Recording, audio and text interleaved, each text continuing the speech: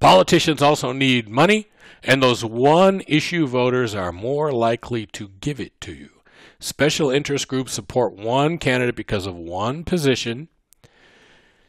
So the sugar producers are going to give money to politicians who are in favor of keeping the sugar restrictions on. In the last election, we saw evangelicals vote for one particular candidate because that candidate is pro life. They wanted certain to be certain that Supreme Court justices that got nominated by that candidate would be pro life Supreme Court justices. So you have these groups of one issue voters. It's rational behavior in the sense that it's a low cost way to make the decision. There's no downside to those folks. They don't lose anything if their candidate doesn't win necessarily, but they stand to gain a lot if their candidate wins relative to. So they get potentially high benefits at a low cost by being a one issue voter. So, how do we best vote for things? How do we best vote for things? How do we make sure that no one's hurt by a policy or a politician? Well, the clean answer to that is what we would call the unanimity rule, in which 100% is required to win. Everybody in the Senate has to go along, and everybody in the House has to go along. All voters have to vote for the same person to be president. What? It's not going to work, right? We're never going to have everybody agree. And even if you had something that almost everybody agreed on, you could have one person hold out. And when that one person holds out, the others are all going to have to do something to move that one person. So, very small minorities of one can mess up the process for everybody across the whole country. We're not going to do unanimity because unanimity as a voting mechanism is just never going to work. Imagine that whatever group you're a part of, you have to get everybody to buy in to do it. But, yeah, hopefully you see that. What about two thirds?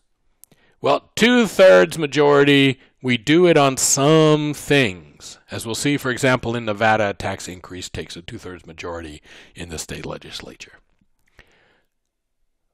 But again, two thirds majorities mean that two sides are going to have to get together. We never have a two thirds majority in the House or the Senate for one party, which means you're always going to have a fight between the two parties, and you're always going to have to get some folks from party B to vote with party A, and it's not going to be functional most of the time. It happens, but it's not going to be functional most of the time. So we settle on the 50% plus one rule. We settle on what's called a simple majority. And the problem with the simple majority is it allows that 50% plus one to do bad things to the 49%.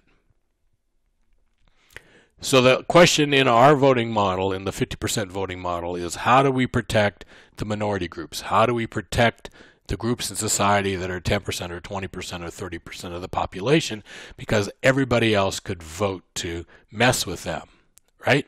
We could we could pass a law that says everybody over 6'5 has to pay 90% income tax and then give it to us who are shorter than that. Okay? How do we protect the minority from exploitation by the majority? Good question. The founding fathers were worried about tyranny. They were worried about essentially a king doing bad things. We've talked about this read your Declaration of Independence again, and there's a whole long list of things that the King of England did to the United States that were done without any input, no taxation, without representation. And again, the, the story about the Boston Tea Party isn't really a good story because they didn't raise the taxes on tea. There was other stuff going on, but they're worried about tyranny. They're worried about an individual coming to power and doing things by themselves that deprive someone of life, liberty, or property without due process of law. They don't want a single person in the United States to be able to do bad things. Number two, they're worried about the 13 colonies having to agree on something. And if everything has to be unanimous, and if you read the Articles of Confederation, you'll see that some things that the federal government would do under the Articles of Confederation had to be agreed to by either 9 or 13 of the colonies, which is a lot. And you have the upside down problem that the little, when you're voting by colony, the little guys can gang up on the big guys. We have this issue in the U.S. Senate that it's possible, it's not likely, because they're in different parties, but it's possible there are, if we rank the senators by population of their state, those 52 senators at the bottom represent 18% of the population. So it's possible for 18 these 52 senators who represent 18% of the population of the United States to make decisions for the whole country. So you can have the small states telling the big states what to do. We don't really see that again. We don't really see that in the Senate, but it's possible. For example, the small states could all gang up and push a Supreme Court nominee through that the big states were against, and the 18% could vote yes and the 82% could vote no, and yet that person could get put into their spot. The founding fathers were also worried about states losing their autonomy. They wanted states to still have power and individuality as states. So, what was their answer? Well, their answers are simple. One is to have a large Congress. The more people you have in Congress, the harder it is for any person or small group of people to mess with things.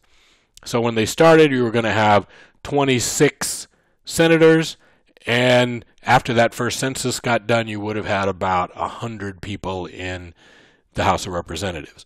So 26 senators, 100 people in the House. If you really want to screw with people, you've got to get 51 in the House and 14 in the Senate, and then you still got to. The having a lot of people minimizes the chance that a small group of people can do something mean or bad. And they split the Senate up into two houses. So we have the Senate and the House.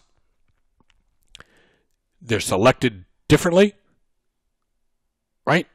The House of Representatives is a popular vote. The people of the United States directly were picking the people in the House of Representatives, and the founding fathers at least argued that Americans are smart enough not to pick dumb people to go into the House to represent them. The Constitution has severe limits on presidential authority. The president has almost no powers. Everything they do is subject to the advice and consent of the Senate or is done because the House and the Senate passed a bill that comes to them. The president's primary authority is to veto things, to tell say no. But the president doesn't have the power to raise money, spend money, none of that. So there's a lot of limits on that president to try to make sure they don't overreach and become a tyrant.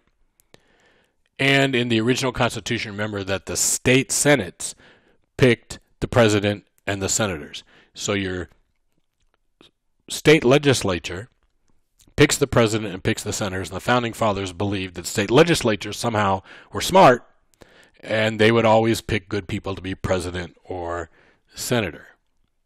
So again, the Constitution is full of protections to try to protect Americans from abuse by the federal government.